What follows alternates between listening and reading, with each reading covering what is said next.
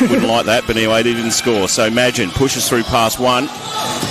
Nice pick there by Oliver, and again another good seal. Madgen for two. Main ones that Bendigo's going to have to look to slow down. Some nice plays in there forward. They'd like that. Mark Alaback off. He'd enjoy uh, the work of Abby Wayrung. Dunlop off to Madgen. They roll again, the Braves. Six gone first term. Good lead for the Braves, 11. Madgen goes all the way herself. How about that, Trent? Go back to Madgen, yes.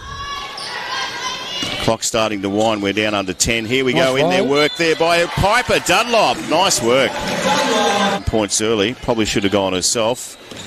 I like to wind the clock down. Levy loses hands. it. I reckon that's the third time she's done that. Oh, give it up. Levy. And uh, some nice work in there, so well Another done, Abby Wayrung. Screaming for it was Piper in the paint, didn't work. Wayrung gives it back to Madgen. Now the pressure's on, clock pressure as well. Oh, she's good though, Tess Madgen. So Wayrung had a good first half too. Madgen doesn't matter what happened in the first half. Kate Oliver, nice work. There's no one in the paint, so they're not prepared to use anyone in there. There she is. And that's why. Straight into the corner. Bang! How about that? Is that a set play, Trent Bice? Nice work. So, Bendigo Stadium on a Friday night. We start the Anzac Day weekend match of, uh, of the night. Oh, imagine. That's class. Back to 10. Last couple of minutes. Third term, Bendigo Stadium, NBL 1 South.